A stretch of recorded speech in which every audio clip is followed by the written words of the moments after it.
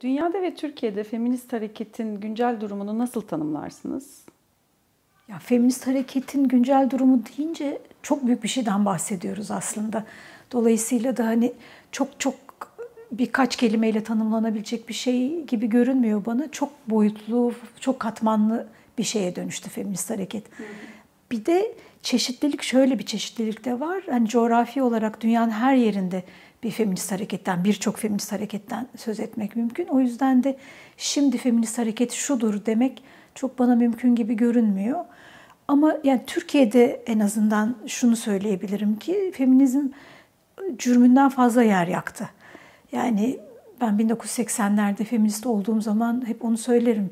89'da biz bir e, feminist hafta sonu yapmıştık. Türkiye'deki bütün feministleri tanıyorduk.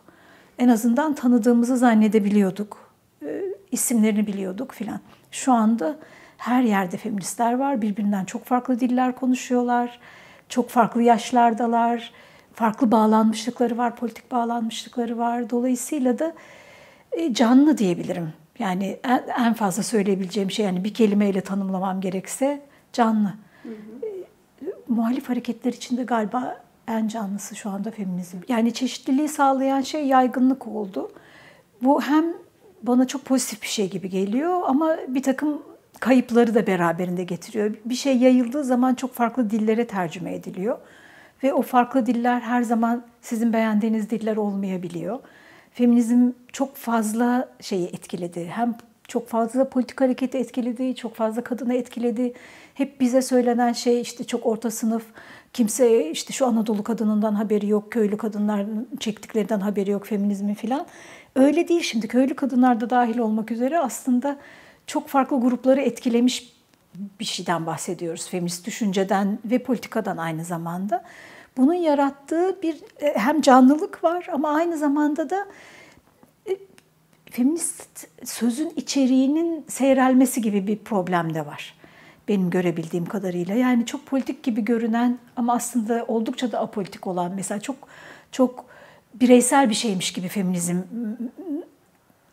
görünen, öyle öyle gören insanlar var. Bir feminizmi kendi hayatıyla ve kendisiyle ilgili bir şeymiş gibi gören oldukça da genç gruplar var benim görebildiğim kadarıyla.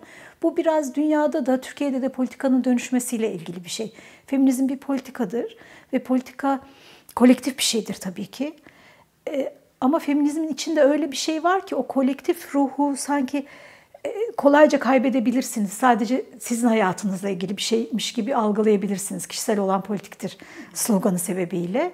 Oysa ki tam da işte o kişisel olanın büyük şeyle, o hep hepimizle, herkesle ilişkisini kuran bir sözdür o. Çok değerli bir sözdür ama bunu işte benim bedenim, benim kararım, hayatıma ben karar veririm düzeyinde bir şeye indirgemek çok kolay oluyor. Böyle bir problem var, problem diyebilirsek ki diyebiliriz zannediyorum ki. Yani bir tür apolitikleşmenin etkilerini feminizmde de görebiliyoruz. Sadece feminizmle ilgili bir şey değil ama bu. Liberal feminizmin tam olarak ne olduğunu bilmiyorum. Çünkü kendine liberal feminist diyen sosyal medyada birkaç, birkaç kişi tanıyorum ama hani öyle bir hareket yok bildiğim kadarıyla. Ama başka birileri söyleyebiliyor. Mesela bana da diyorlar liberal feminist diye. Hatta liberal diyorlar feminist bile değil.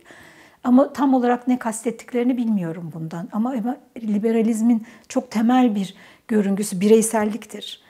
O anlamda tabii çok liberal bir tavır bu bahsettiğimiz şey. Ee, daha çok bence çağın ruhuyla ilgili bir şey. Liberalizmden çok çağın ruhuyla ilgili bir şey. Birlikte davranmak, politika yapmak, dünyayı dönüştürmekle ilgili ortak e, hareket etmek gibi şeyler. Bir yandan hep hep tereddütlü konuşuyorum. Bir yandan çünkü bunların izlerini çok görüyor, görüyoruz. Küreselleşme karşıtı harekette de görüyoruz mesela. Ama bir yandan da herkesin kendi hayatına kapandığı, özellikle Türkiye'de böyle bir şey var. Kendi hayatımıza, kendi grubumuza kapandığımız bir dönemden de geçiyoruz. Bu da son derece apolitik bir şey aslında. Yani sadece kendinize benzeyenlerle konuşabildiğinizde, diğerleriyle iletişiminiz koptuğunda politika yapmanız mümkün değil. Türkiye'de orta sınıf hareketi olarak başladı. Her yerde öyle başlamıyor. Mesela Hindistan örneği oldukça farklı bir örnek bildiğim kadarıyla. Ee, Türkiye'de öyle başladı. Türkiye'de sol hareket de öyle başladı ama. Yani neden orta sınıf olarak başlıyor bir muhalif hareket? Çünkü okuma yazma ile ilgili bir şeydir. E, kim oku, okuyup yazıyorsa, kim dünyayla daha entegre ise muhalif düşünceleri ilk önce onlar görüyorlar. Oldum olası hep böyledir. Tarih boyunca da öyle oldu. Türkiye'de de öyle ama çok hızla dönüşen bir şey de oldu. Yani ben bu orta sınıf nitelemesinin ne anlama geldiğini çok iyi bilemiyorum o yüzden. E, çünkü ilk feministlerin arasında, Türkiye'de de ilk feministlerin arasında çok büyük ölçüde sol hareketten gelen kadınlar vardı. Farklı sınıfsal kökenlerden. Onların politizasyon süreci hem sınıfsal kökenleriyle ilgiliydi ama aynı zamanda bağlantılı oldukları politik hareketlerle de ilgiliydi.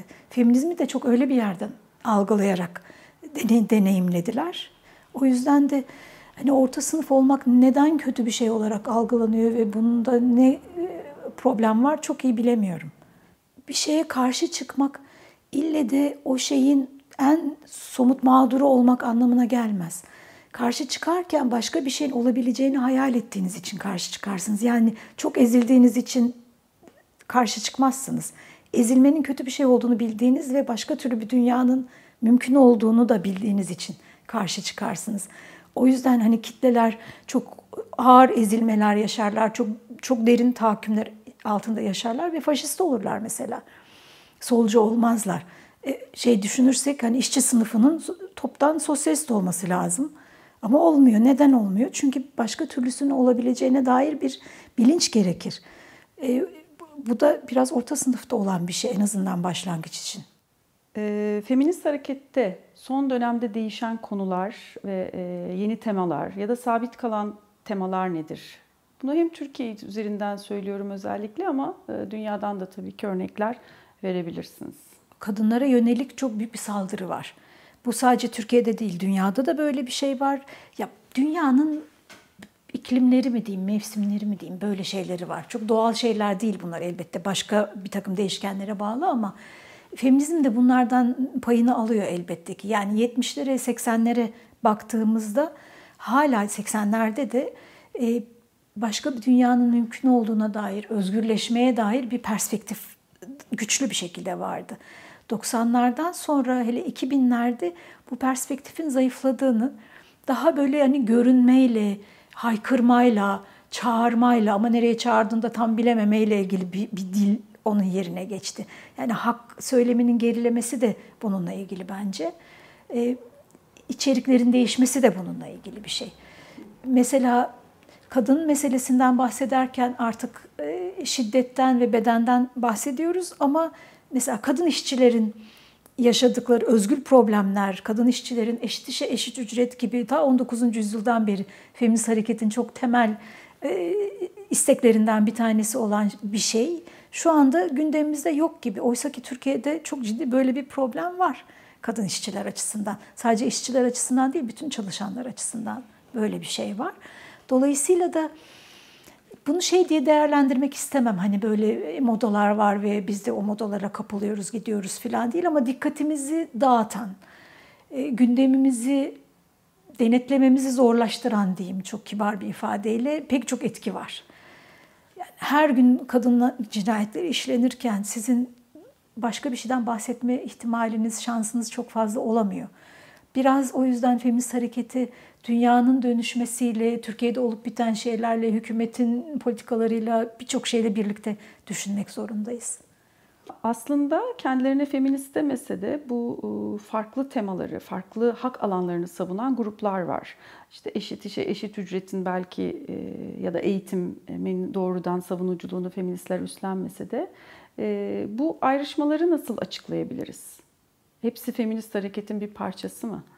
Yoksa başka politik ayrımlar üzerinden mi şekilleniyor bu? E, bu feminist hareketin dalgaları denilen metafor e, anlamayı kolaylaştırıcı bir tarafı olmakla birlikte çok da zarar veren bir metafor oldu bana sorarsanız. Tam bu söylediğiniz şey yani e, hak söyleminin gerilemesi, işte sınıf hareketinin gerilemesi, bununla birlikte feminizmin belli bir dilinin belli bir kesiminin diyelim geri planda kalması falan dediğimiz şeyler aslında tam bu dalga metaforuyla okumaya çalıştığımız zaman ha işte ikinci dalga gitti şimdi üçüncü dalga var. Dolayısıyla da bu haklar geriledi gibi bir yere götürür bizi. Ama o zaman da görmemizi, bir şey görmemizi engelliyor.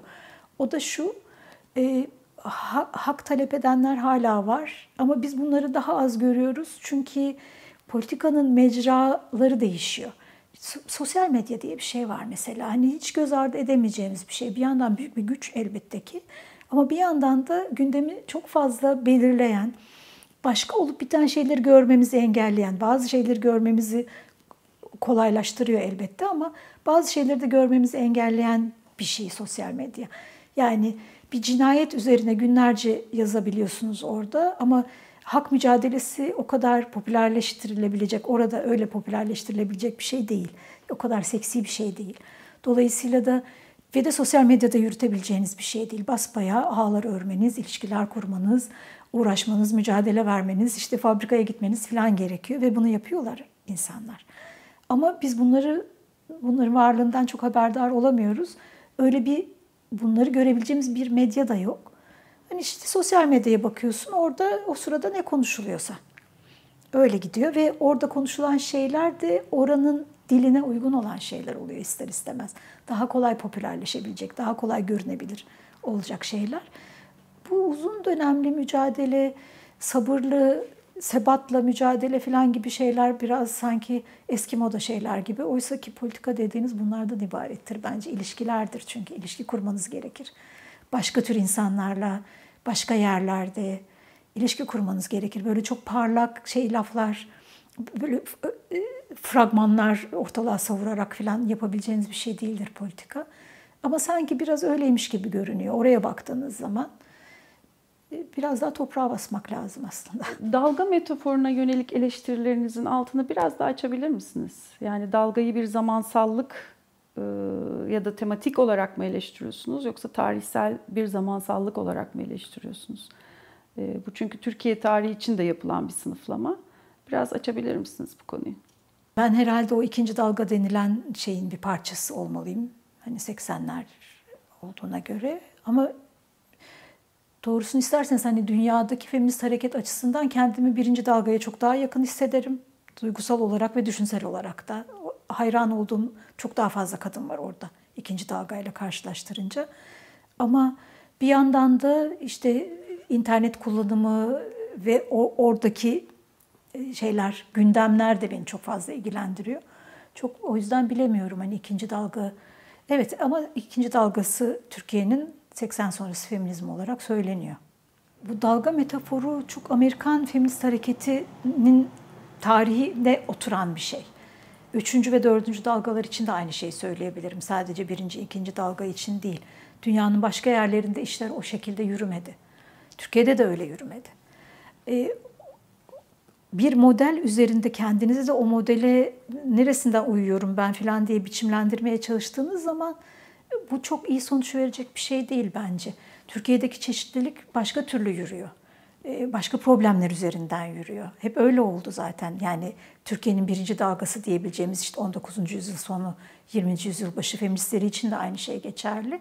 Dolayısıyla da bir şey söylemek istemiyorum. Hani biz bize benzeriz, Amerikalara benzemeyiz falan diye. Hani bunun yine de bir açıklayıcı tarafı var. Şu, söylemek istediğim şey şu. Dünyanın iklimleri, mevsimleri falan diye demin anlatmaya çalıştığım şeyin bir parçası bu da. Kimi dönemlerde bazı şeyler öne çıkıyor. Diyelim ki 70'lerde hak söylemi, sınıf mücadelesi nasıl öne çıktıysa, özgürlük 68'den sonra özgürlük kavramı nasıl öne çıktıysa, bugün de mesela korku çok temel bir şey politik kavram olarak aramızda dolaşan bir şey.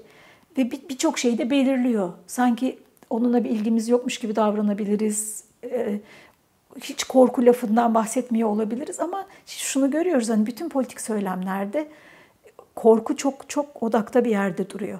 Bu dünya ile ilgili bir şey. Bizim teorik yaklaşımlarımızla ya da hareketimizin tarihin ile ilgili değil de dünyanın dönüşümüyle ve bizim hareketimiz de o dönüşümün bir parçası olarak o dönüşümle de ilgili bir şey. Peki Türkiye'deki feminist hareketi e, sınıflandıracak olursak dalga olarak değil ama farklı gruplar üzerinde ya da şöyle diyelim Türkiye'deki feminist hareketi kocaman bir ağaç olarak düşünürsek bunları nasıl dallarına ayırabilirsiniz?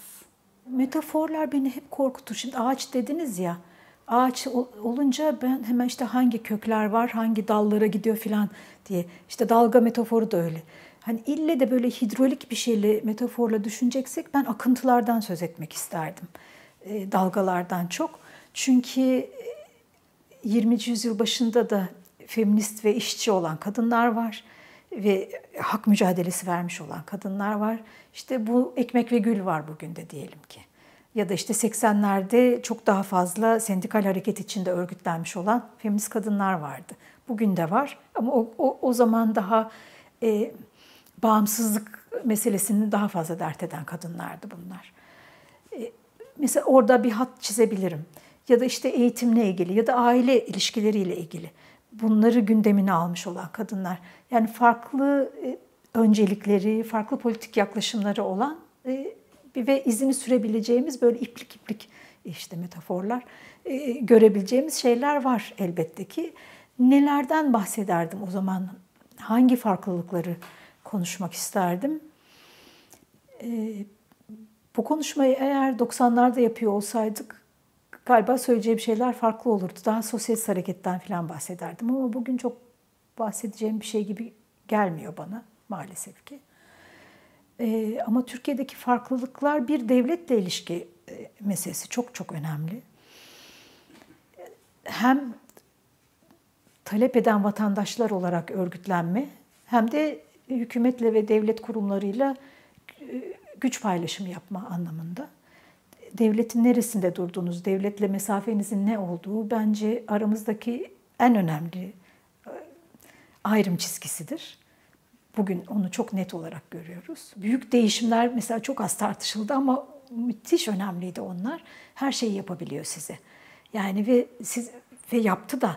Yani kadın derneğini feshediyor ve kadın derneği ben feshedildiğim zaman mal varlığım şuna gidecek diye bir şey tüzüğüne koymadıysa ki kimse bir dernek kurarken böyle bir şey koymaz. Artık akıllandık koyuyoruz ama en yakında kim varsa kendi şeylerine, kendilerine yakın olan bir kadın örgütüne mal var, var böyle örnekler. Yani Van'da falan yaşandı. Dolayısıyla da hani hükümetle ilişkiler ve uluslararası kuruluşlarla ilişkiler birbirinden çok ayrı şeyler değil. Şöyle bir ayrı görünen bir farklılık var. Görüntüde bir farklılık bana sorarsanız. Birleşmiş Milletler'in çok özel bir dili var. Çok böyle acayip steril bir dil. Ben de onların projelerinde danışmanlık falan yaptım. Uzun bir zamandır yapmıyorum ama bir dönem yaptım ve orada çok net olarak görmüştüm onu. Hani büyük işler yapılıyor, çok büyük paralar harcanıyor falan bakıyorsunuz aslında hiçbir şey yok orada yapılan. Yani ama raporlara baktığınız zaman falan büyük büyük bir şeyler sanki dünyayı değiştiriyoruz havası. İşte böyle yerel örgütlere fonlar verilecek bilmem neler falan. Yani e, o yüzden bu ikisini birbirinden çok ayrı şeyler gibi görmüyorum. Dil farkı var. Birisinde kendinizi çok daha konforlu ve steril bir ortamda hissediyorsunuz. Öbüründe daha çamurlu bir şey var.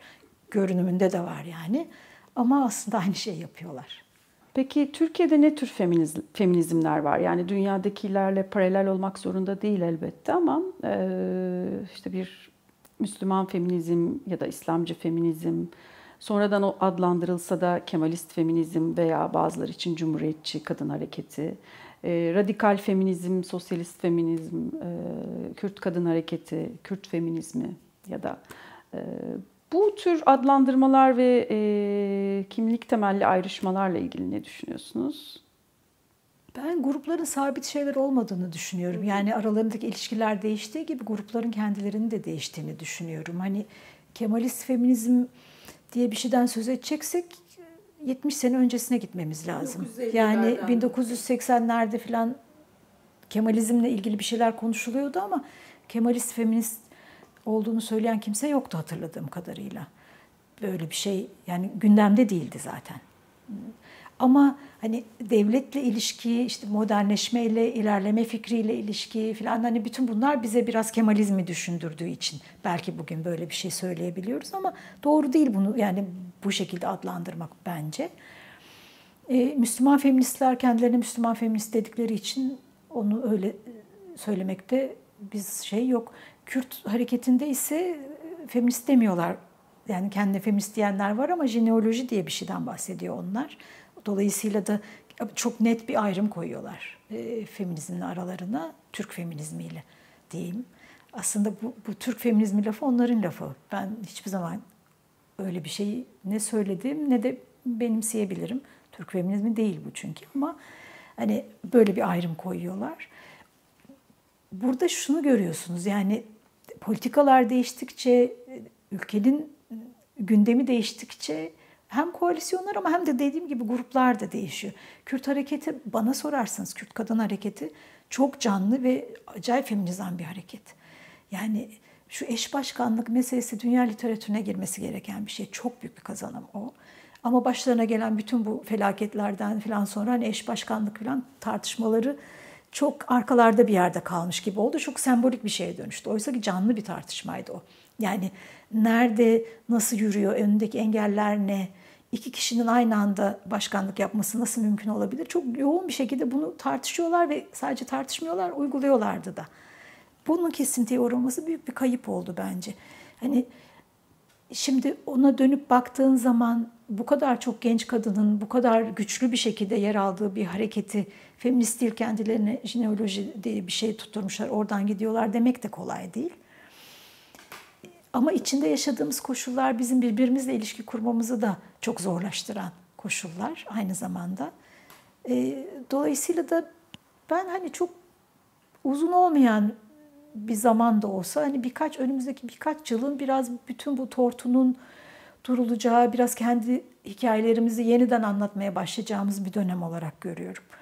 E, çok az kendimiz hakkında konuştuk aslında. Çok sanki işte feminist hareketin tarihi falan diye böyle konuşuluyor ama gerçekten böyle düşünümsel bir şey yapmayalı biz çok oldu.